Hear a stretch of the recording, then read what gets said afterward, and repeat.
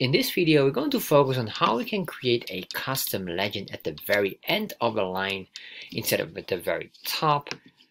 And we're going to make sure it's dynamic enough that if we have more data sets, it will automatically grab the labels and the color as well.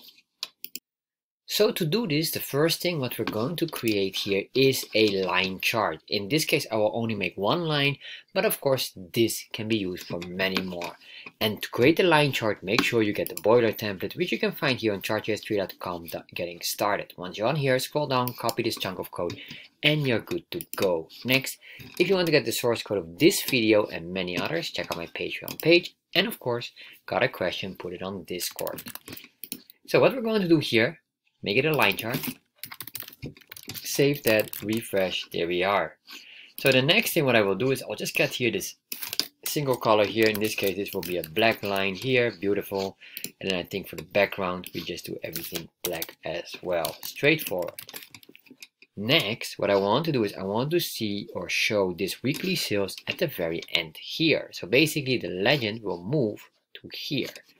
To do that, what we need to do here is a few things. Number one, we're going to remove the plugins for legend. So say plugins, legend,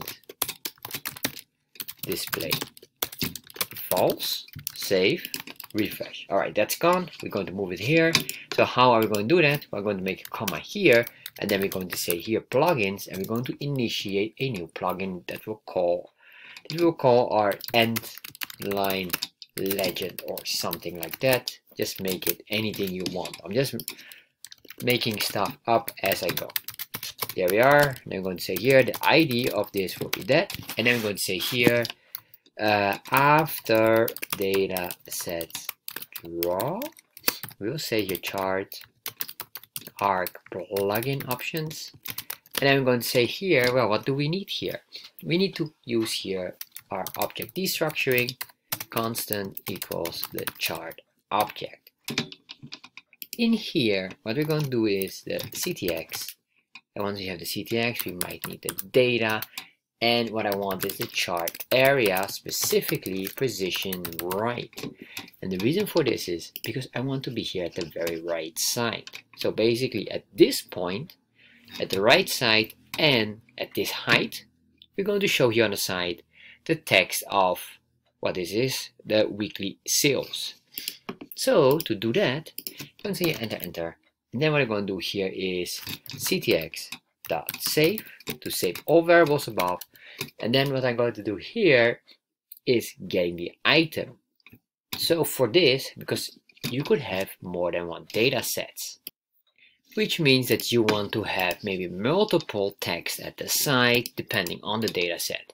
So what I'm going to do is make it dynamic so that if you have more, it will automatically recognize and put those in there with the right colors, etc, etc. So to do that, what we want to do is first we say data dot data sets. And here, this data sets here is basically the data data sets here. It understands this. And then I'm just going to use here the for each method. And then we say here for every data set and index function arrow expression, put in here the items, and then we're going to break it down now. So what I'm going to do here is use another built-in function. So I'm going to create a constant, that constant meta, and this meta is basically chart.get data set meta, and then here, this is basically a function, normally index 0, index 1, I'm going to use this here, so it's dynamic based on whatever we have here. And I need this because this will give us access to get the coordinates specifically of every one of these items. But what I want to get is the coordinate of the very last data point here, whatever is the x and y of that specific item. So what I'm going to do here is we're going to do also a max length. So say, we say here constant max length and the length will be what exactly? It will be just from the data itself, data dot data sets, or we could even use a shorthand for data sets. And then once I did that, um, let's see what we could do here or maybe just use that one. That's fine. Let's use that one. So I'm not confused with my notes so data and uh, this is the index so here the data itself dot length. Then we should get here number 7 but I want to make sure this is neg minus 1 value. Let's see if we get the number 7 there we are. Then I say here minus 1 because of the array. So then we have that all correct. So now what we can do is start to put in the text here. So what I'm going to say here ctx dot font we're just going to make this a bold text make sure that this is a string value so it's a comma comma or uh, these commas here. A quotation marks that's the right term. 12 pixels. Sans serif as font family size. Once we did that the next thing what I want to do here is give it a color. Ctx at fill style and the fill style will be whatever we have in our border color remember one thing here because I have this in an array but we could just remove the array and just make it a single value. Let's do that one for now. So it's more easier. We don't have to consider the array assuming that all your data sets will have the same structure because this is based on that. So then I can just say here data or well you have here the data sets and just say here the border color so they have the shorthand straight away. Then I'm going to say ctx that. Uh, we can say here the um, fill text because I want to put in the text and what exactly do I need. I need here whatever the label would be then the x coordinate and the y coordinate.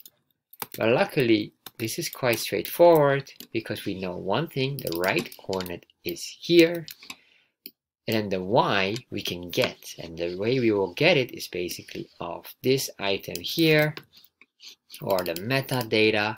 You can just grab this one. We're going to say metadata. Then we're going to get here the max length because I want to get the height specifically of this item not of anything else.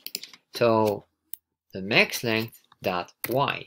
Getting this let's keep this label in here for now and save this refresh you can see we're getting something here but of course we have no space here so what I'm going to do is just force some space in here we're going to say here um, layout, padding, and then specifically on the right side, I'm just going to give it a 100 pixel fixed padding. Save this, refresh, there we are. So we have enough space here. We can probably push this a little bit down. So what I'm going to do here is this. Uh, we can say here right, let's do here. Ctx text align. I'm going to say here left, meaning whatever is the left side it will ignore and will just go further to the right. And then what I can do here is maybe a CTX text baseline to put it more in the middle. Save that refresh alright that looks much much nicer and then finally let's give it additional pixels or padding to the to push it more to the right so we have this right here and then I'm just going to say plus 6 pixels additional. Save, refresh. That looks quite nice. We could give it a nice color or, or do some, not a background or whatever, but I'll leave it as it is. This looks more appropriate. Finally, what I want to do here now is getting this text. So how do we get this text? Well, remember we are here in the data sets. We can get here the label. So what I'm going to do here is just say data set or this shorthand here dot label save that refresh there we are now final item is let's do the test if I duplicate this I have another one so comma and I'll make this 99 and make this 99 and maybe another 99 and 99 all right. Then I'll change the last two values 6 and 6 we call this our second sale, save refresh and there we are. As you can see here of course these are overlapping but then this works nicely and it automatically recognizes the color and the text of the label and that's it